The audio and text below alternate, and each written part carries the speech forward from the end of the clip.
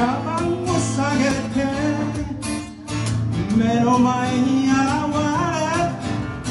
お辞儀をして微笑んだ時に白い灰がまぶしかったのを覚えてる冷たい手に息を吹きかけ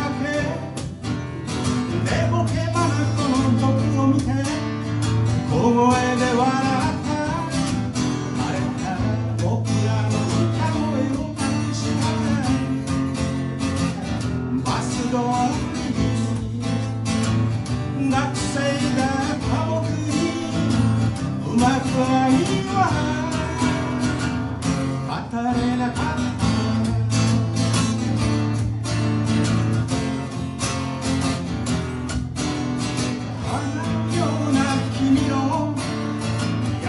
しさに包まれ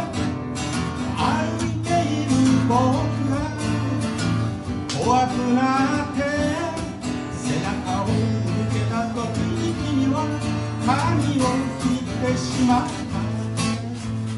風が僕の日記帳のページをめくる誓った言葉はどこにもない。楽園の忘れて歩いた。バス通り学うまく愛は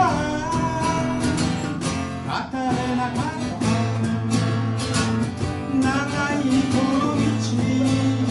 一人だと過ぎる。バス通り